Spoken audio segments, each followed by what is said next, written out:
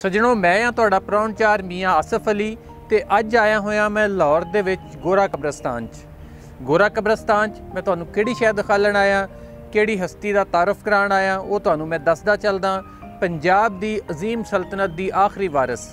ਨਹੀਂ ਪੰਜਾਬ ਦੇ ਬਾਨੀ, ਜਿਹੜਾ ਪੰਜਾਬ ਦੇ ਲਾਹੌਰ ਦਰਬਾਰ ਦਾ ਬਾਨੀ ਸੀ, ਮਹਾਰਾਜਾ ਰਣਜੀਤ ਸਿੰਘ ਸ਼ੇਰੇ ਪੰਜਾਬ, ਉਹਨਾਂ ਦੀ ਪੋਤਰੀ ਦੀ ਕਬਰ ਦੇ ਉੱਤੇ ਅਸੀਂ ਆਏ ਹੋਏ ਆ ਇੱਕ ਗੱਲ ਤੇ ਬੜੀ ਹੈਰਾਨਕੁਨ ਹੈ ਕਿ ਸਿੱਖ ਮਜ਼ਹਬ ਦੇ ਜਿਹੜੇ ਬਾਨੀ ਸੀ, ਬਾਬਾ ਗੁਰੂ ਨਾਨਕ ਦੇਵ ਜੀ, ਉਹਨਾਂ ਦੀ ਆਖਰੀ ਆਰਾਮਗਾਹ ਵੀ ਪਾਕਿਸਤਾਨ 'ਚ ਹੀ ਆ, ਪੰਜਾਬ 'ਚ ਹੀ ਆ। ਤੇ ਜਿਹੜਾ ਸਿੱਖ ਸਲਤਨਤ ਦਾ ਬਾਨੀ ਸੀ, ਜਿਹੜਾ ਖਾਲਸਾ ਰਾਜ ਦਾ ਬਾਨੀ ਸੀ, ਮਹਾਰਾਜਾ ਰਣਜੀਤ ਸਿੰਘ ਸ਼ੇਰੇ ਪੰਜਾਬ, ਉਹਨਾਂ ਦੀ ਸਮਾਧੀ, ਉਹਨਾਂ ਦੀ ਆਖਰੀ ਆਰਾਮਗਾਹ ਜਿਹੜੀ, ਉਹ ਵੀ ਪੰਜਾਬ 'ਚ ਹੀ ਆ। ਤੇ ਜਿਹੜੀ ਸਿੱਖ ਸਲਤਨਤ ਦੀ, ਖਾਲਸਾ ਰਾਜ ਦੀ ਆਖਰੀ ਵਾਰਿਸ ਸੀ ਸ਼ਹਜ਼ਾਦੀ ਬੰਬਾ, ਉਹਨਾਂ ਦੀ ਜਿਹੜੀ ਕਬਰ ਆ, ਉਹ ਵੀ ਪੰਜਾਬ 'ਚ ਹੀ ਆ, ਲਾਹੌਰ 'ਚ ਹੀ ਆ। ਜੀ ਹਾਂ, ਇਸ ਟਾਈਮ ਅਸੀਂ ਖੜੇ ਆ ਸ਼ਹਜ਼ਾਦੀ ਬੰਬਾ ਦੀ ਕਬਰ ਤੇ। ਸ਼ਹਿਜ਼ਾਦੀ ਬੰਬਾ ਜਿਹੜੀ ਮਹਾਰਾਜਾ ਰਣਜੀਤ ਸਿੰਘ ਦੇ ਵਲੀਅਦ, ਉਹਨਾਂ ਦੇ ਪੁੱਤਰ, ਜਿਹੜਾ ਕਿ ਆਖਰੀ ਬਾਦਸ਼ਾਹ ਹੋਇਆ ਸਿੱਖ ਸਲਤਨਤ ਦੇ, ਮਹਾਰਾਜਾ ਦਲੀਪ ਸਿੰਘ, ਉਹਨਾਂ ਦੀ ਧੀ ਸੀ ਔਰ ਉਹ ਇੰਗਲੈਂਡ ਦੇ ਵਿੱਚ ਜੰਮੀ। ਸ਼ਹਿਜ਼ਾਦਾ ਦਲੀਪ ਸਿੰਘ ਜਿਹੜਾ ਸੀ, ਉਹ ਆਖਰੀ ਬਾਦਸ਼ਾਹ ਜਿਹੜਾ ਬਣਾਇਆ ਗਿਆ ਸੀ, ਪੰਜਾਬ ਹਕੂਮਤ ਦਾ, ਲਾਹੌਰ ਦਰਬਾਰ ਦਾ। ਉਹ ਮਹਾਰਾਜਾ ਦਲੀਪ ਸਿੰਘ ਸੀ, ਜਿਹਦੇ ਹੱਥੋਂ ਫਿਰ ਸਲਤਨਤ ਜਿਹੜੀ ਆ ਅੰਗਰੇਜ਼ਾਂ ਨੇ ਖੋ ਲਈ, ਜਦੋਂ ਆਖਰੀ ਜੰਗਾਂ ਤੋਂ ਬਾਅਦ ਸਲਤਨਤ ਤੇ ਸਿੱਖ ਕਾਬਜ਼ ਹੋ ਗਏ ਤੇ ਫਿਰ ਉਹ ਮਹਾਰਾਜਾ ਦਲੀਪ ਸਿੰਘ ਨੂੰ ਇੱਥੋਂ ਅਰੈਸਟ ਕਰਕੇ ਲੈ ਕੇ ਤੇ ਅਰੈਸਟ ਕਰਕੇ ਗਿਆ ਸੀ, ਭਾਵੇਂ ਉਹਨੂੰ ਨਾਂ ਜਿਵੇਂ ਵੀ ਦਿੱਤਾ ਗਿਆ, ਉੱਥੇ ਲੈ ਲੈ ਗਏ ਸੀ ਇੰਗਲੈਂਡ ਦੇ ਵਿੱਚ, ਉਹ ਉੱਥੇ ਹੀ ਰਹਿ, ਉੱਥੇ ਉਹਨਾਂ ਨੂੰ ਜਗੀਰ ਵੀ ਦਿੱਤੀ ਗਈ ਸੀ, ਉੱਥੇ ਉਹਨਾਂ ਨੂੰ ਇਜਾਜ਼ਤ ਵੀ ਦਿੱਤਾ ਗਿਆ ਸੀ, ਜਿਹੜੀ ਕਿ ਹਮੇਸ਼ਾ ਤੋਂ ਗੋਰਿਆਂ ਦੀ ਆਦਤ ਆ ਕਿ ਉਹਨਾਂ ਨੂੰ ਬੜਾ ਉੱਥੇ ਉਹਨਾਂ ਦੇ ਨਾਮ ਤੇ ਇਨਾਮੋ ਇਕਰਾਮ ਵੀ ਚੱਲਦਾ ਰਿਹਾ, ਉਹਨਾਂ ਨੂੰ ਵਜ਼ੀਫਾ ਵੀ ਮਿਲਦਾ ਰਿਹਾ ਔਰ ਉਹਨਾਂ ਨੂੰ ਜਿਹੜਾ ਮਹਾਨਾ ਖਰਚ ਵੀ ਉਹਨਾਂ ਵੱਲੋਂ ਮਿਲਦਾ ਰਿਹਾ ਔਰ ਵੱਡੀ ਇੱਕ ਜਗੀਰ ਵੀ ਦਿੱਤੀ ਗਈ। ਸ਼ਹਜ਼ਾਦੀ ਬੰਬਾ ਤੇ ਸ਼ਹਜ਼ਾਦੀ ਸੂਫੀਆ ਜਿਹੜੀਆਂ ਸੀ, ਇਹ ਦੋ ਧੀਆਂ ਸੀ ਮਹਾਰਾਜਾ ਦਲੀਪ ਸਿੰਘ ਦੀਆਂ,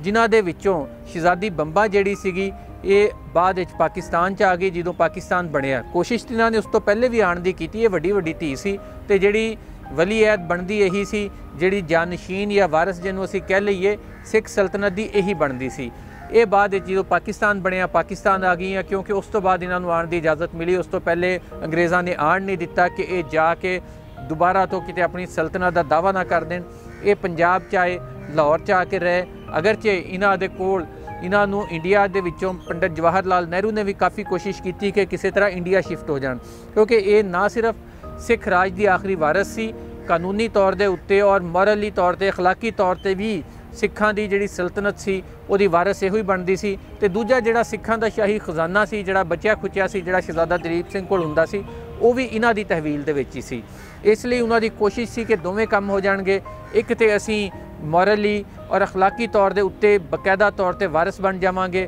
ਲਾਹੌਰ ਦਰਬਾਰ ਦੇ ਪੰਜਾਬ ਸਲਤਨਤ ਦੇ ਔਰ ਪੰਜਾਬ ਸਲਤਨਤ ਬਹੁਤ ਵੱਡੀ ਸਲਤਨਤ ਸੀ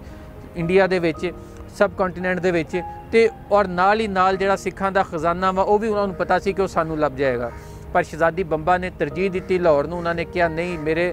ਜਿਹੜੇ ਦਾਦੇ ਦੀ ਸਲਤਨਤ ਦਾ ਦਰਲ ਹਕੂਮਤ ਇਹ ਸੀ, ਮੇਰੇ ਅੱਬੇ ਦੀ ਸਲਤਨਤ ਦਾ ਦਰਲ ਹਕੂਮਤ ਇਹ ਸੀ ਔਰ ਲਾਹੌਰ ਦਰਬਾਰ, ਕਿਉਂਕਿ ਲਾਹੌਰ ਦੇ ਵਿੱਚੋਂ ਹੀ ਸਾਰਾ ਇਹ ਹਕੂਮਤ ਕੰਟਰੋਲ ਹੋ ਰਹੀ ਸੀ ਤੇ ਮੈਂ ਉੱਥੇ ਜਾ ਕੇ ਰਵਾਂਗੀ। ਉਹ ਇੱਥੇ ਆਏ, ਇੱਥੇ ਆ ਕੇ ਲਾਹੌਰ ਦੇ ਵਿੱਚੋਂ ਰਹਿ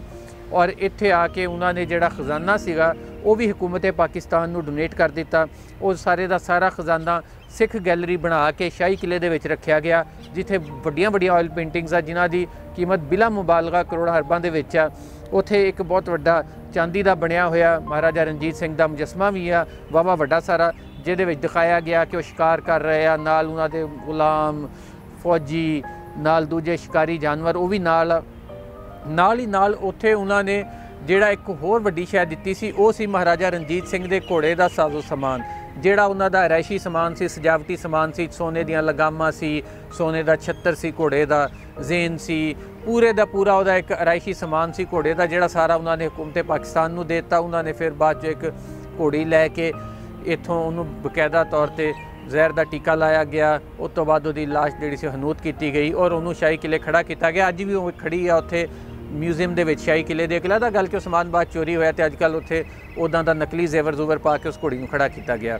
ਸ਼ਹਜ਼ਾਦੀ ਬੰਬਾ ਨੇ ਉਹ ਸਾਰਾ ਕੁਝ ਵੀ ਹਕੂਮਤ ਪਾਕਿਸਤਾਨ ਨੂੰ ਦੇਤਾ ਨਾਲ ਹੀ ਨਾਲ ਜਿਹੜੀ ਪੰਜਾਬ ਸਲਤਨਤ ਸੀ ਜਿਹੜੀ ਇੰਡਸ ਵੈਲੀ ਦੇ ਉੱਤੇ ਬਣੀ ਸੀ ਇੰਡਸ ਸਿਵਲਾਈਜੇਸ਼ਨ ਦੇ ਉੱਤੇ ਬਣੀ ਹੋਈ ਸੀ ਉਸ ਸਲਤਨਤ ਦਾ ਜਿਹੜਾ ਮੋਰਲੀ ਤੌਰ ਦੇ ਉੱਤੇ ਕਾਨੂੰਨੀ ਤੌਰ ਦੇ ਉੱਤੇ اخلاقی ਤੌਰ ਦੇ ਉੱਤੇ ਪੰਜਾਬ ਸਲਤਨਤ ਦਾ ਵਾਰਿਸ ਵੀ ਹਕੂਮਤ ਪਾਕਿਸਤਾਨ ਨੂੰ ਬਣਾ ਗਈਆਂ ਸ਼ਹਜ਼ਾਦੀ ਬੰਬਾ ਦਾ ਬਹਰਹਾਲ ਪਾਕਿਸਤਾਨ ਦੇ ਉੱਤੇ, ਪੰਜਾਬ ਦੇ ਉੱਤੇ ਇੱਕ ਬਹੁਤ ਵੱਡਾ ਅਹਿਸਾਨ ਆ ਕਿ ਅਸਲੀ ਪੰਜਾਬ ਜਿਹੜਾ, ਉਹ ਇਸੇ ਪੰਜਾਬ ਨੂੰ ਕਰਾਰ ਦੇ ਗਈਆਂ